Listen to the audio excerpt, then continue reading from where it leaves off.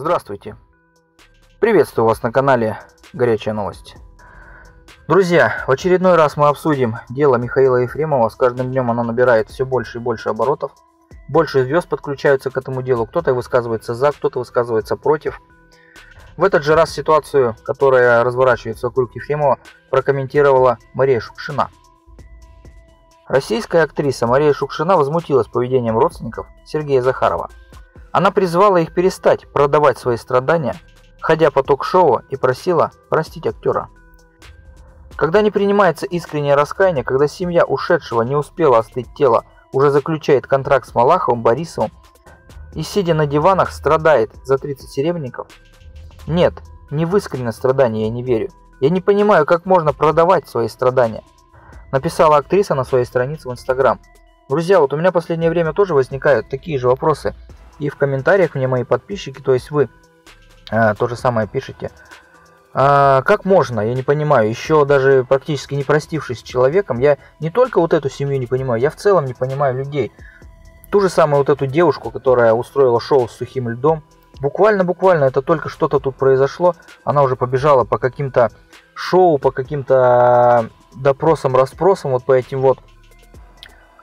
Сидит, плачет, что-то рассказывает. Мне кажется, это такое время, когда это все происходит. И вот эта семья, про которую мы сейчас говорим, такое время, когда ты не думаешь просто ни про каких шоу. Тебе просто, мне кажется, надо остаться одному там, либо в кругу друзей, чтобы они тебя поддерживали и из дома не выходить. Я был в подобных ситуациях, тоже терял э, близкого мне довольно-таки человека.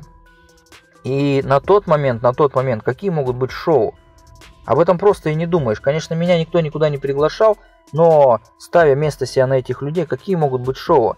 И я ведь прекрасно понимаю, что человеку в этот момент не до шоу, но он туда идет, он туда идет. И он туда идет не за бесплатно. Потому что к Малахову бесплатно никто не ходит, Борисову бесплатно никто не ходит. Я знаю, какие гонорары там платят, чтобы люди туда пришли. Я предполагаю, что, и не то, что предполагаю, это мое жесткое убеждение, что туда люди ходят вот эти вот чисто из-за денег. И когда они говорят, что мы не возьмем деньги у Малахова, вот сейчас будет об этом говорить Шукшина, я просто забегу маленько вперед, у меня возникает вопрос, э, извините, не у Малахова, а у... Когда они говорят о том, что мы не возьмем деньги у, у Ефремова, они вроде такие белые, пушистые, вроде там у них честь и достоинство есть, вот это ниже их, там они человека потеряли, они деньги не могут взять. А почему что тогда берете у Малахова? Если вы такие хорошие, почему тогда берете деньги у Малахова? Сто процентов они туда прошли не просто так. Если уж тогда хорошенькие, тогда будьте хорошенькими до конца. Если тогда уж плохие, ну тогда раз вы берете деньги у Малахова и Борисова, чем хуже деньги а, у того же Ефремова? Двоякие, двойные стандарты. Природа человечества не терпит богохульства и в конце концов сама же себе всегда и отомстит для него. И не только в отношении Михаила Ефремова. Вспомнились мне эти слова духоносного классика отечественной литературы Федора Достоевского. Беда происходит в стране, беда со всем нашим обществом. Когда не принимается искреннее раскаяние, когда семья ушедшего не успела остыть тело, уже заключает контракт с Малаховым, Борисовым и сидя на диванах страдает за 30 серебряников – нет, не в искреннее страдание я не верю. Я не понимаю, как можно продавать свои страдания.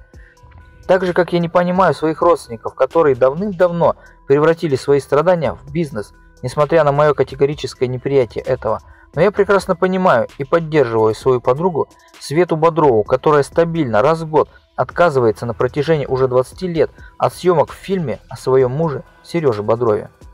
Это сейчас речь идет о Сергее Бодровом, который вот снимался в фильме «Брат», «Брат 2», которого завалило лавиной.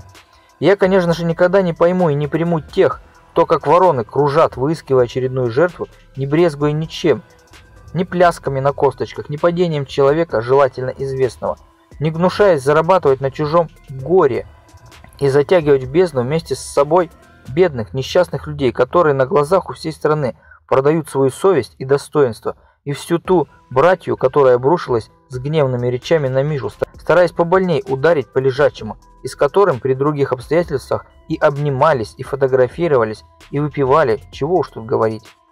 В эту же бездну тянут они и всех зрителей, бурно осуждающих, негодующих и тем самым берущих грех на душу.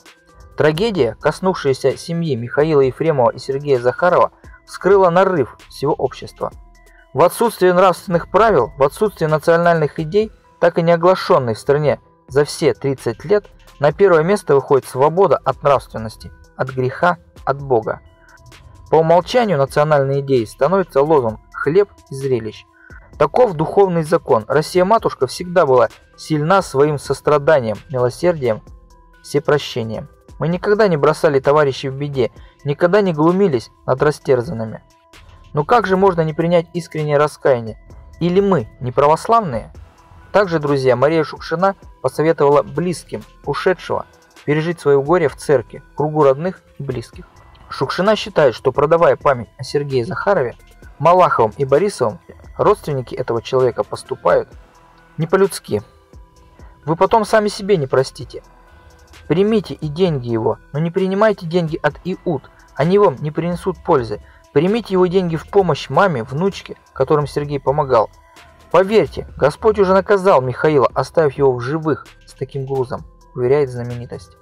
Артистка считает, что Ефремов наказал себя сам и до конца своих дней теперь будет бичевать себя. Она заявила, что никогда не поймет тех, кто обнимался и фотографировался с актером, а теперь обрушился на него с гневными речами, стараясь побольнее ударить по лежачему.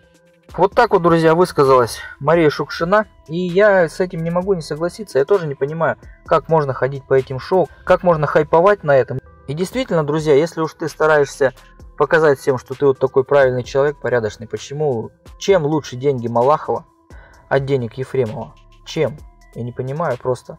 Даже можно поставить вопрос по-другому. Чем лучше Малахов, того же Ефремова? Я считаю, что тот же Ефремов, он гораздо честнее Малахова. Он говорил всегда то, что считал нужным, ни перед кем не, не кланялся, не пригибался. Малахов же делает шоу. Он делает то, что требует, скажем так, правящая элита. Он понимает, что людям интересно вот сейчас вот эти вот а обмусолить вот эти вот моменты, все вот эти вот детальки по поводу по поводу Ефремова что они будут это слушать. В какой-то степени на данный момент я считаю, что раздувание, искусственное раздувание вот этого вот э, конфликта всего, это отвлечение от каких-то более важных вещей. К примеру, если Малахов оставляет себя таким правдорубом, почему же он не расскажет о том, что случилось в нашей Арктике? А вот этих вот 400 или 350 ЖД-вагонов, которые просто э, солярки или чего там мазута ушли в речке и плавают там спокойно. Почему он об этом не расскажет, если он действительно ассоциирует и выдает себя таким человеком, что вот он такой вот правдоруб и говорит и на особо важные темы, которые, скажем так, о которых невозможно молчать, как он говорит. Расскажи об этом. Об этом тоже невозможно молчать, об этом нужно кричать. Эта авария самая крупная, самая крупная за всю историю нашей Арктики. На этом, друзья, у меня все. Всем, кому понравилось видео, ставьте классы, подписывайтесь на канал. Обязательно нажимайте на колокольчик. Всем пока, друзья, до новых встреч.